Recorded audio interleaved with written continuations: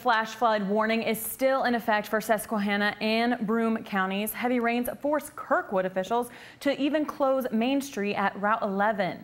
As you can see from this video, the road flooded under the railroad tracks. It's estimated there's five to six inches of water. No word yet the area will be back open.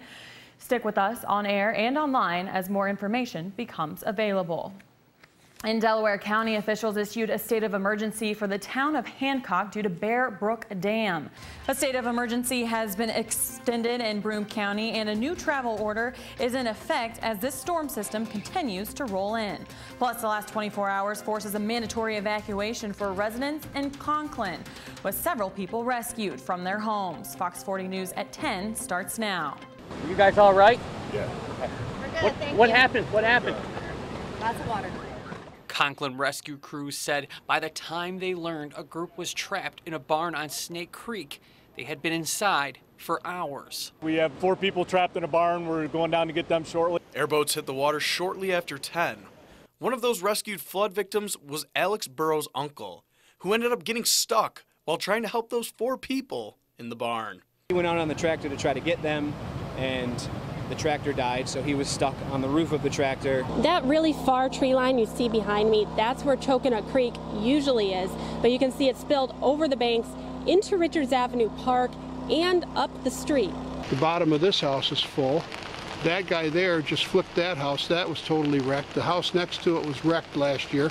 Also in Vestal, Governor Cuomo paying a visit after declaring a state of emergency for the region, making it easier for local governments to tap into state resources. We need to move uh, equipment from one part of the state to the other part of the state. Uh, if we need private sector help, if we have to get a contracting company, an excavating company to bring in heavy equipment, uh, it gives us the flexibility to do that. Tonight we begin with continuing coverage of yesterday's flash flooding. Good evening and thank you for joining us. I'm Devin Negretti. Cleanup begins as roaring waters swept through the southern tier. On Binghamton's east side, the water left behind thick layers of mud. The creek uh, plugged up and uh, water came over the street instead of under. This is the result. Mud everywhere on the road, inside businesses. We've got about two foot of water in the front of the store and about four inches of mud. A lot of um, my customers and family, friends are, came down to help. Now, when you just look at it, it really doesn't look all that deep, but then you step into it. This is what the businesses are trying to shovel out. Just trying to uh, wash it out and salvage what we can. On Mason Avenue, Raymond Warner is pushing mud away from his daughter's house, which also took on water in the basement. You can see it on the road. We had five of water in the basement. So the road's still like that. Just trying to clean it up. Crews are also cleaning up the aftermath in Kirkwood. This bridge in the park across from Town Hall has withstood plenty of floods through the years, but not this one.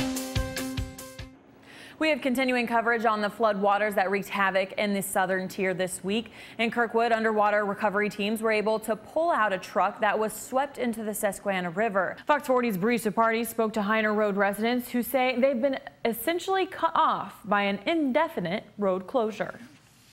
That's right, Devin. The August 14th storm washed out a large portion of Heiner Road, making it impassable. Now that road is the only access in and out of the dead-end street for the 10 homeowners living there. Uh, our only means in and out of here is through a private driveway.